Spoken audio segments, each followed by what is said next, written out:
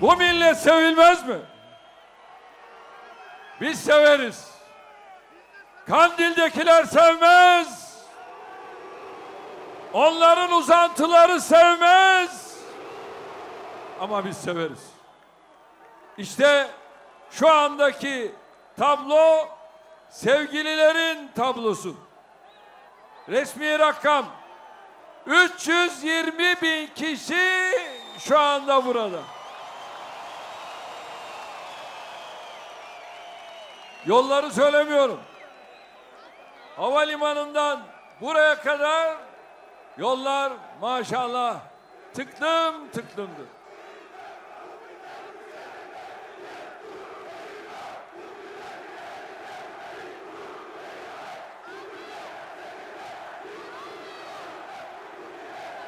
Sizler Cumhur İttifakı'nı mahcup etmediniz. Cumhur İttifakı'nı bu yolda yalnız komadınız. Bu yolda beraber yürüdük. Gece gündüz demeden yürüdük. Ve sizler bu görevi yine bizlere verdiniz. İnşallah Türkiye yüzyılını beraber inşa ve ihyaya devam ediyoruz. Hazır mıyız buna?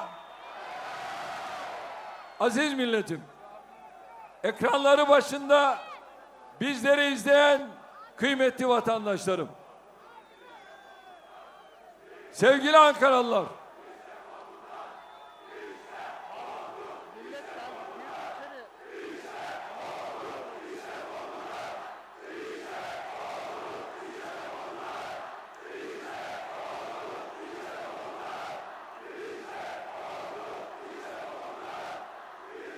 Değerli dava ve yol arkadaşlarım, sizlere en kalbi duygularımla, hürmetle, muhabbetle selamlıyorum. Cumhurbaşkanlığı seçiminin ikinci turu. Hamdolsun kayda değer herhangi bir sıkıntı, sorun yaşanmadan tamamlanmıştır. Seçimin gayri resmi seçim e, sonuçlarına göre milletimiz Cumhurbaşkanlığı görevini beş yıllığına daha bizlere tevdi etmiştir.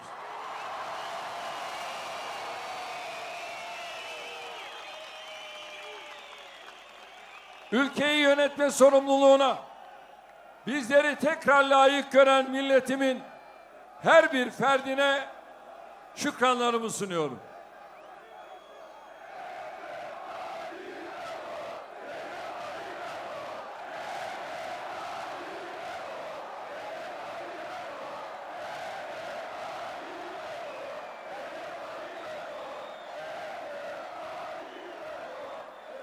Gerek 14 Mayıs'ta gerek 28 Mayıs'ta tercihini hangi partiden hangi adaydan yana kullanmış olursa olsun yurt içinde ve yurt dışında sandık başına giderek iradesine sahip çıkan demokrasimizin gücünü ispatlayan her vatandaşıma teşekkür ediyorum.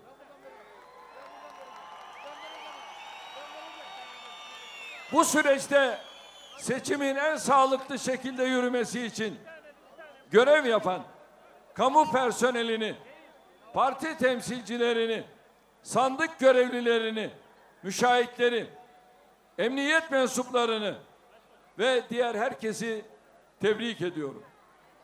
Çok partili siyasi hayatımızın en önemli seçimlerinden birinde milletimiz kararını Türkiye yüzyılından yana kullanmıştır.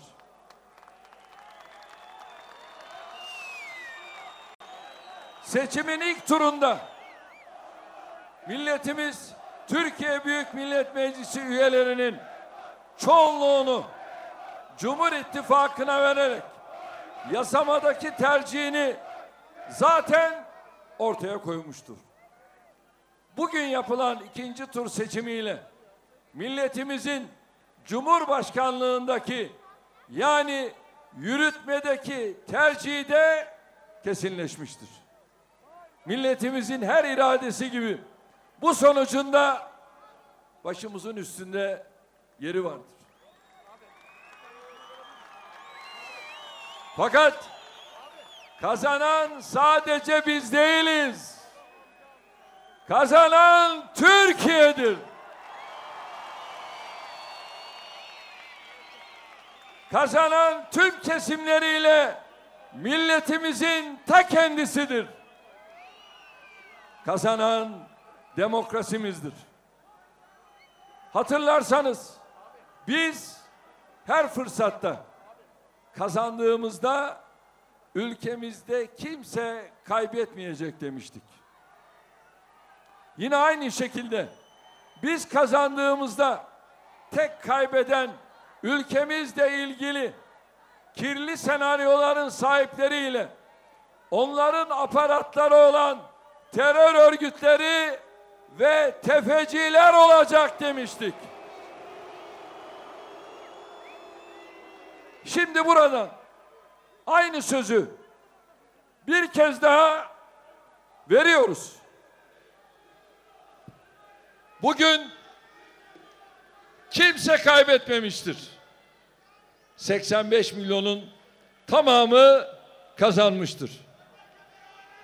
Milletimizin bize verdiği sorumluluğun gereği olarak kimseye kırgın, küskün, kızgın, öfkeli değiliz. Artık seçim dönemine dair tüm tartışmaları ve çekişmeleri bir kenara bırakarak milli hedeflerimiz, milli hayallerimiz etrafında birleşme, bütünleşme vaktidir. Biz bu çağrıyı laf olsun diye değil, tüm kalbimizle yapıyoruz. Çünkü biz biliyoruz ki Türkiye'nin gücü 85 milyonun hep beraber olmasından kaynaklanıyor. Şimdi burada ben hesap uzmanı değilim.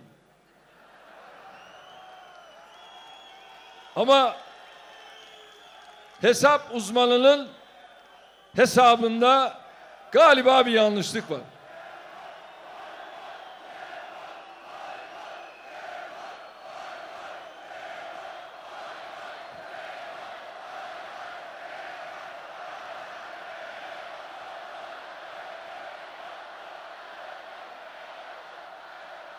...2018'de...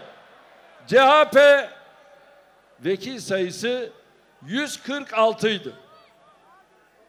Hesap yapıyoruz ya. 2023'te vekil sayısı 169. Gördüğünüz gibi bir artış var. Fakat burada kiralık vekiller var. 40 tane kiralık vekil. Yüzde bir oy alan partilere ne yaptı? 40 tane kiralık vekil verdi. Sayı nereye düştü? 129'a. 146'dan 129'a. Hangisi büyük? Herhalde 129 büyüktür diyemezsiniz. 146'dan 129'a bu milletvekilleri sayısını düşürene de herhalde haydi diyemezsiniz. Şimdi Kandil'dekilerle onları arkaya alıp bir video çekimiyle haydi diyebilirsiniz ama bu millet yutmuyor. Ve yutmadı 17 vekil düşmüş durumda.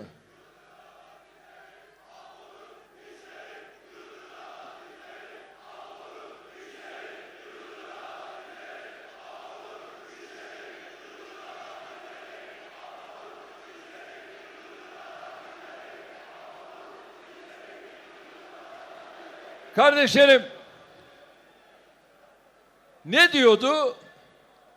Eğer Selo'yu dışarı çıkarmak istiyorsanız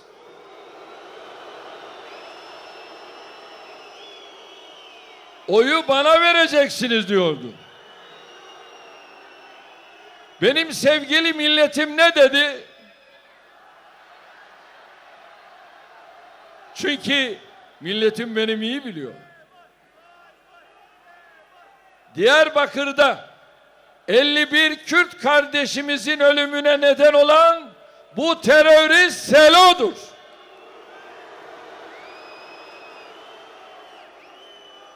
Adaletin, hak ve hukukun egemen olduğu Türkiye'de sen 51 Kürt kardeşimizi ölümüne neden olan Selo'yu istediğin gibi dışarı çıkaramazsın. Hele hele bizim iktidarımızda böyle bir şeyin gerçekleşmesi mümkün değildir.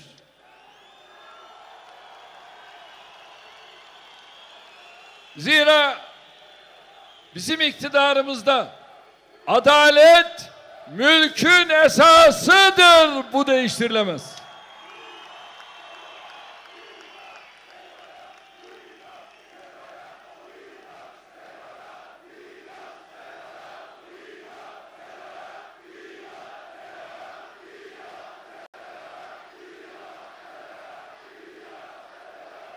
Rahmetli Menderes'in yeter söz milletindir diyerek yeni bir dönemin kapılarını açtı. 1950'den beri yaşadığımız tüm badirelerin gerisinde hep Türkiye'nin bu gücünün zayıflatılması vardır. Darbeler bunun için yapılmıştır. Muhtıralar bunun için verilmiştir. Koalisyonlar bunun için kurulmuş, bunun için yıkılmıştır. Zenginliğimiz olan köken ve meşrep farklılıklarımız bunun için ayrışma sebebi haline dönüştürülmeye çalışılmıştır. Sahip olduğumuz muazzam ekonomik potansiyelin hayata geçmesi hep bunun için engellenmiştir. Ülkemizin doğusundaki, güneyindeki, kuzeyindeki, batısındaki güç ve etki alanlarının üzeri hep bunun için örtülmüştür. Üzerimize giydirilen ve bize dar gelen deli gömlekleri içinde bizi yıllarca boğanların korkusu hep bugün müjdesini verdiğimiz Türkiye yüzyılının bir gün gelip kapılarına dayanacağıdır. Bugün işte o gündür. Siz burada bugün onun için varsınız. Bugün rahmetli Menderes'in uğruna canını verdiği demokrasi ve kalkınma hamlelerimizin en üst seviyeye ulaşma günüdür. Bugün rahmetli Özal'ın son nefesine kadar hep peşinde koştuğu büyük Türkiye hayalinin gerçeğe dönüşme sürecinin başlama günüdür. Bugün rahmetli Erbakan'dan rahmetli Türkeş'e davalarına aşkla bağlı milletin tüm adamlarının mücadelelerinin gayesine ulaşma günüdür. Bugün bizim 21 yıldır ülkemize kazandırdığımız eserlerin, milletimize yaptığımız hizmetlerin üzerine Türkiye 100 yılının müjdesini verme günüdür. İşte bunu sizlerle yapıyoruz. Sizlerle yaptık. Bugün hem kendi vatandaşlarımızın hem de kendi geleceklerini bizimle birlikte gören dost ve kardeşlerimizin zafer ve şükür dualarının arşa ulaştığı gündür. İşte sandıklar kapandı, telefon zincirleri akmaya başladı. Körfez'den İngiltere'ye ve Rusya'ya kadar hepsi tebriklerini bildirdiler. ve yarın da yine bu tebriklerin devam edeceğini görüyoruz. Türkiye'nin son 10 yıldır önüne kurulan tüm tuzaklar, üzerinde oynanan tüm oyunlar, sırtına saplanan tüm hançerler, ayağına takılan tüm çelmeler işte bugünü engellemek içindir. Alman dergileri, Fransız dergileri, İngiliz dergileri Erdoğan'ı yıkmak için kapaklar atmadılar mı? Bu kapakları yazmadılar mı? Kardeşlerim, işte onlar da kaybettiler. Aylardır karşımızda kurulan ittifakları gördünüz. Kimlerin kimlerle beraber olduğunu gördünüz. Terör örgütlerinden sapkın akımlara kimlerin karşımıza dikildiğini gördünüz. Oynanan kirli oyunları gördünüz. Buna rağmen ne oldu? Hamdolsun başaramadılar. İnşallah bundan sonra da başaramayacaklar. Çünkü bu millet mayasının ne kadar sağlam, basiretinin, ferasetinin ne kadar güçlü olduğunu yaşadığı her badirede tekrar tekrar ispatlamıştır. Ve işte bundan dolayıdır ki Türk milletinin asla zafiyetini yakalama, bulma gibi gayretin içerisine girenler yine kaybedeceklerdir. Sadece şu son seçimler boyunca şahit olduklarımız bile milletimizin şu onurlu duruşunu göstermiştir. Milletimizle aramızdaki muhabbet köprüsü böylesine güçlü olduğu müddetçe Allah'ın izniyle üstesinden gelemeyeceğimiz mücadele, çözemeyeceğimiz sorun, hal yoluna koyamayacağımız mesele yoktur. Şimdi Rabbime beni böyle bir milletin evladı olarak dünyaya getirdiği için hamd ediyorum.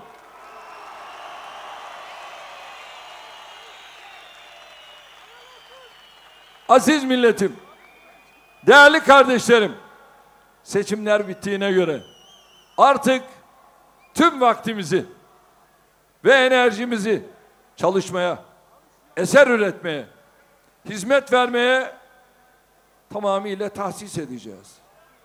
Asrın felaketi 6 Şubat depremlerinin yaralarını sarmak, yıkılan şehirlerimizi yeniden ayağa kaldırmak, insanlarımızı hayata bağlamak, önceliklerimizin en başında yer almayı sürdürecektir. Sadece kalbimiz değil, elimizde hep deprem bölgesinin üzerinde olmaya devam edecektir. Enflasyonun yol açtığı fiyat artışlarından kaynaklanan sıkıntıları gidermek, refah kayıplarını telafi etmek, önümüzdeki günlerin en acil konu başlığıdır. Bunları çözmek bizim için zor bir şey değil. Bunları başbakanlığın döneminde faizi 4,6'ya, enflasyonu da 6,2'ye indirerek ispatlayan biz değil miydik? Biz bu işi yaşadık, yaptık. Ama bunların böyle bir derdi var mı? Yok. Bunlar laf ola beri gele. Yaparsak yine biz yaparız. Evet şu anda faiz sekiz buçuğa indirildi. Ve enflasyonda göreceksiniz. O da inecek. Onlar bizimle yarışamaz. Onlar IMF'in kapısında nöbet tutarlar. Kardeşlerim, bizler Davos'tan kopuşumuzu nasıl başlatmıştık biliyor musunuz? Ve Davos'ta şu anda Babacan yanımdaydı o zaman. Ve Davos'ta IMF Başkanı ile görüşüyoruz. O zaman bizim 23,5 milyar dolar IMF'e borcumuz var. IMF Başkanı'na dedim ki sen dedim taksitlerini alıyor musun? Alıyorum. Dolayısıyla Türkiye'nin siyasi kaderine sen müdahale edemezsin. Türkiye'nin başbakanı benim.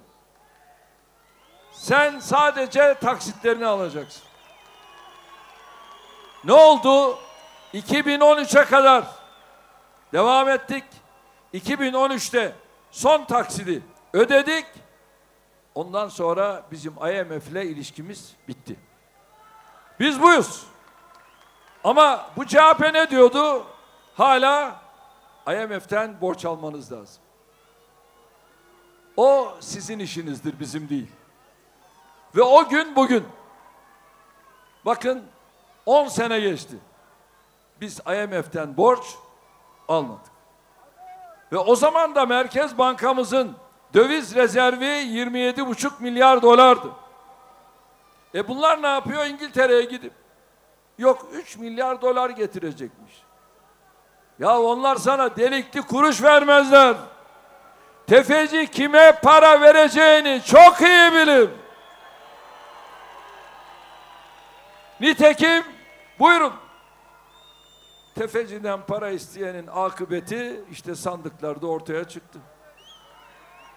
Olay bu kadar basit. Ve biz şimdi yolumuza emin adımlarla yürüyoruz, yürüyeceğiz. Değerli kardeşlerim, güven ve istikrar bu iki kavram çok önemli. Ta siyasette hep arkadaşlarımla bunu konuştum. İki kavram güven ve istikrar. Bununla yola devam edeceğiz. Ve güçlü bir ekonomi yönetimini bu iki kavramın üzerine kuracağız. Uluslararası itibara sahip bir finans yönetimi, yatırım ve istihdam odaklı bir üretim ekonomisi tasarlıyoruz. Sanayiden enerjiye her alanda giderek artan üretim gücümüzün sağladığı imkanları herkesi şaşırtacak yeni bir ekonomik atılımın lokomotifi haline getireceğiz. Şu anda Karadeniz'de doğal gazı bulduk mu? Bir ay süreyle ücretsiz olarak doğal gazı vatandaşlarımıza verdik mi veriyor muyuz? Bir yıl boyunca da 25 metreküp doğal gazı biz Cumhurbaşkanlığının hediyesi olarak vatandaşlarımıza verme kararını açıkladık mı? Biz buyuz. Şimdi Gabar'da petrol çıktı. Yatarak çıkmadı. Çalışarak çıktı. Daha önce orada Bay Bay Kemal'in dirsek temasında olduğu teröristlerin oralarda beton dökmeleri sebebiyle petrol çıkartamıyordu. Ama şimdi çıkardık. Ve bununla birlikte küresel gelişmelerin bozduğu dengeler yeniden kuruluyor. Türkiye'nin bu tabloda inşallah çok çok farklı bir gücü olacak. Hak ettiği yeri de alacak. Güneyimizdeki güvenlik tehditlerini, terör örgütleriyle yürüttüğümüz mücadeleyi artıracağız. Siyasi ve diplomatik kanalları daha etkin işleteceğiz. Bölgesel gelişmeleri doğru şekilde yönlendirerek kısaca çok yönlü çalışmalarla sınırlarımızdan bunları da uzak tutmaya devam edeceğiz. Ve Bay Bay Kemal'in ortakları ne diyordu?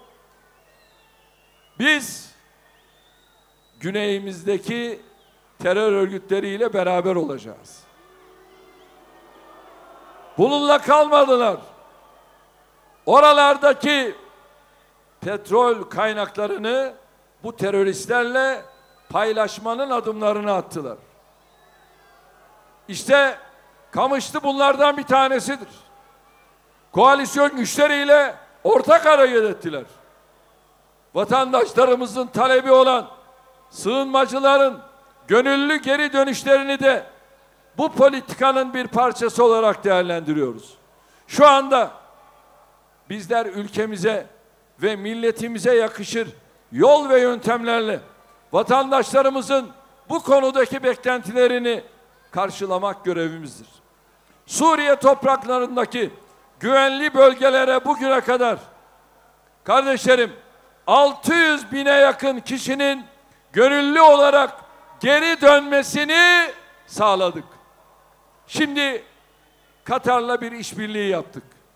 Yeni bir iskan projesiyle birkaç yıl içinde bir milyon kişinin daha dönüşünü temin edeceğiz.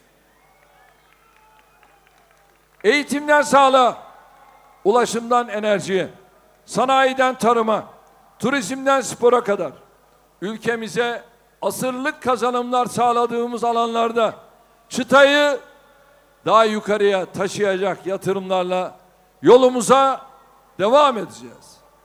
Mesleki eğitim başta olmak üzere ülkenin şartlarına ve gençlerimizin beklentilerine karşılık gelecek uygulamaları geliştirerek sürdüreceğiz. Durmak yok. Durmak yok.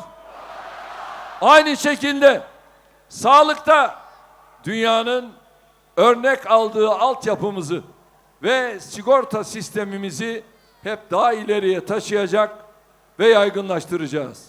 Şehir hastanelerimizi artıracağız. Kalkınmanın temel altyapısı olan ulaştırma ve enerjide yürüttüğümüz yatırımları artık küresel düzeye taşıyarak Türkiye'nin hap konumunu daha da güçlendireceğiz.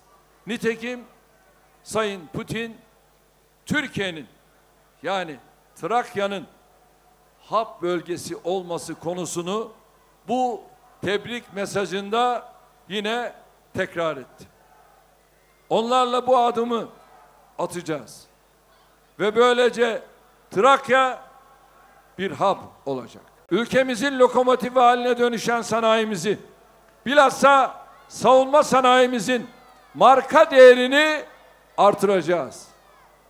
Bizi dünya gıda sektörünün en önemli aktörlerinden biri haline getiren, tarım ve hayvancılıkta girdi fiyatlarını düşüren, üretici gelirlerini artıran, tüketici erişimini kolaylaştıran bir sistemi hayata geçireceğiz. Hizmetler sektörümüzün ana gelir kaynağı turizmde yakaladığımız ivmeyi sürdüreceğiz. Sosyal yardım ve destek sistemimizi milletimizin tek bir ferdinin bile kendisini sahipsiz hissetmeyeceği, dışlanmışlık duygusuna kapılmayacağı seviyeye getirene kadar geliştireceğiz. Kardeşlerim, kısacası önümüzdeki dönemin her anını Türkiye 100 yılına yakışır eser ve hizmetlerle değerlendireceğiz. Yarın 570. yıl dönümüne kavuşacağımız İstanbul'un fethi bir çağı açıp yeni bir çağı kapatmıştı. Başta Fethin komutanı. Letuftahannel Konstantiniyete. Feleniyemel emiru emiruha. Veleniyemel ceyşu zalikel ceyş. Konstantiniye muhakkak fetholunacaktır. Onu fetheden komutan ne güzel komutan ve onun askeri ne güzel askerdir hükmünü yerine getirdik. 570 yıl önce. Yarın bu fethi İstanbul'umuzda kutlanacak. Ne mübarek komutan ne mübarek asker. İnşallah sizleri karşımda bu ecdadın torunları olarak görüyorum. Sizlerle iftihar ediyorum. Sizlere inanıyorum. Sizlere güveniyorum. İnşallah bu seçimleri giriş kapısı olarak gördüğümüz Türkiye yüzyılı da tarihe işte böyle bir dönüm noktası olarak geçecektir. Dün Türkiye bize, biz de Türkiye'ye ve milletimize emanetiz demiştik. Emanete sahip çıktığınız için sizlere en kalbi şükranlarımı sunuyorum. Kelimelere sığmayan şu sevginiz, coşkunuz, vefanız, kadir şinaslığınızın için her birinize ayrı ayrı teşekkür ediyorum. Bizlere bu toprakları vatan yapmak ve vatan olarak tutmak için canlarını feda eden tüm şehitlerimizi rahmetle yad ediyorum.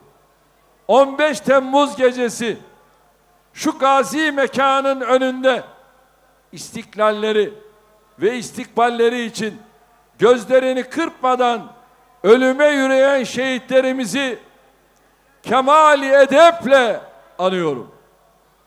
Bizler buradaki varlığınızla şehitlerimizin elden ele bugünlere ulaştırdığı kutlu sancağın asla yere düşmeyeceğini bir kez daha gösterdiniz. Rabbim hepinizden razı olsun. Bize yeni bir zafer daha yaşatan milletimiz var olsun. Türkiye yüzyılı kutlu olsun. Büyük Türkiye zaferimiz hayırlı olsun. Sözlerime Arif Nihat Asya'nın şu dua şiiriyle son vermek istiyorum. Biz kısık sesleriz. Minareleri sen ezansız bırakma Allah'ım. Ya çağır şurada bal yapanlarını. Ya kovansız bırakma Allah'ım. Mahyasızdır minareler. Göğü de kehkeşansız bırakma Allah'ım. Müslümanlıkla yoğrulan yurdu. Müslümansız bırakma Allah'ım. Bize güç ver. Cihat meydanını pehlivansız bırakma Allah'ım. Kahraman bekleyen yığınlarını kahramansız bırakma Allah'ım. Bilelim hasma karşı koymasını. Bizi cansız bırakma Allah'ım. Yarının yollarında yılları da Ramazansız bırakma Allah'ım.